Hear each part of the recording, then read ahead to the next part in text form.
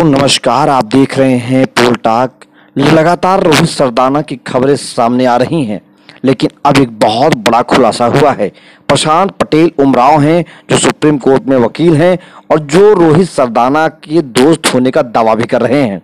उन्होंने कई सारे ट्वीट किए हैं और उस ट्वीट के अनुसार अब यह बात साफ़ हो रही है कि रोहित सरदाना की मौत के पीछे वजह क्या थी।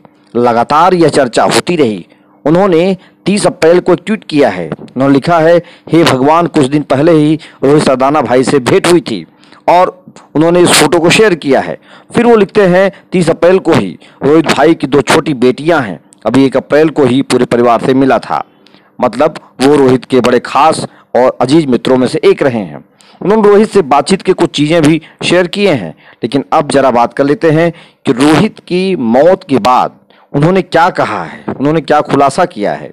उस बात को समझना बहुत ज़रूरी होगा। रोहित सरदाना की मृत्यु स्टेराइड देने के बाद हुई है। तीस अप्रैल को ही लिख रहे हैं वो। मेट्रो हॉस्पिटल नोएडा को मेडिकल बुलेटिन जारी करके बताना चाहिए कि कैसे रिकवर हो चुके रोहित की। अचानक हृदय गति रुक गई और किन परिस्थितियों में उन्हें आईसीयू में रखना पड़ा। ये बात खुद प्रशांत पटेल उमराव लिखते हैं। इस बात को लिखने के बाद वो दो तीन ट्वीट और करते हैं। लेकिन उसके बाद वो उत्तर प्रदेश के मुख्यमंत्री, शिक्षा मंत्री, स्वास्थ्य मंत्री से भी वो मांग करते हैं कि इसकी जाँच होनी चाहिए। अब जरा सुनिए, आगे वो क्या कहते हैं? उन्होंने लिखा है, मेट्रो अस्पताल नोएडा के डॉक्टरों की गलती से रोहित सरदाना की मृत्यु हुई है। We will post all the detail soon इस अस्पताल पर 2018 में भी मरीजों की चीटिंग की एफआईआर हुई थी।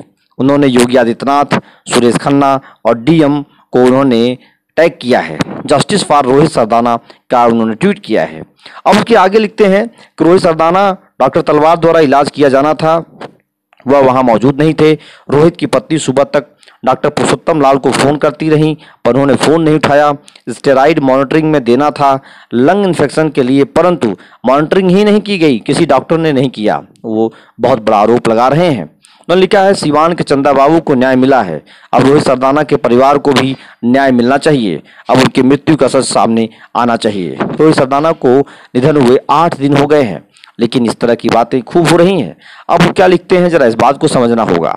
रोहित सरदाना को बिना मॉनिटरिंग के स्टेराइड देने के बाद जब उनका ब्लड प्रेशर बढ़ा तो उन्होंने मेट्रो अस्पताल के डॉक्टर पुरुषोत्तम लाल को चार बज के पंद्रह मिनट चार बजकर तीस मिनट सुबह पर मैसेज किया पर कोई रिप्लाई नहीं आया। उनकी पत्नी ने डॉक्टर लाल को कई बार फ़ोन किया लेकिन फ़ोन नहीं उठा। अब ये बात तो उन्होंने कह दी है लेकिन एक चैट है एक व्हाट्सएप चैट है जिस पर डॉक्टर पी लाल पुरुषोत्तम लाल का फ़ोटो दिख रहा है। पहले तो एक बातचीत छोटी सी है उसके बाद फिर दूसरे दिन की बातचीत है। उसमें लिखते हैं I reach here in afternoon presently in room 416 फिर रोहित सरदाना लिखते हैं, they gave steroid injection armed ग्यारह तीस पर। Since then I have heaviness on chest B P in एक सौ पचास ऑब्लिक सौ, पल्स एक सौ पच्चीस, एक सौ तीस, and headaches while I share the problem with the staff, first they asked me to have a tablet H forty my regular B P dose then did ECG and asked for some blood samples. While the same uh, uneasiness and heaviness continues, present BP 160 oblique सौ. ये बात लिखी है रोहित सरदाना ने और इससे पता चलता है किस तरह की लापरवाही हुई है। हालाँकि रोहित सरदाना की पत्नी प्रमीला दीक्षित ने इस पर कोई भी बात अभी नहीं कही है। हो सकता है वो इस बात को उठाएँ लेकिन तब तक रोहित सरदाना की चौदह दिन तेरह दिन का जो कार्यक्रम होता है वो पूरा होने के बाद। लेकिन प्रशांत पटेल उम उमराव जो हैं ये रोहित सदाना के अपने आप को दोस्त बता रहे हैं, मित्र बता रहे हैं और ये इनकी जो अगर ट्विटर पर पढ़ेंगे आप तो ट्विटर पर इनका जो प्रोफ़ाइल है वो advocate supreme court of India लिखा हुआ है। फतेहपुर, उत्तर प्रदेश के रहने वाले हैं। तो ये सारी बातें हैं दोस्तों, ये लगातार इस बात का प्रमाण है कि इसमें कुछ न कुछ बवाल ज़रूर है, कुछ न कुछ शिकायत है तो रोहित की मौत का सबसे बड़ा सच यही है, अभी बहुत सारी चीज़ें बाकी हैं, लेकिन रोहित को मरने के आठ दिन हो गए और इस तरह की खबरें सामने आ रही हैं।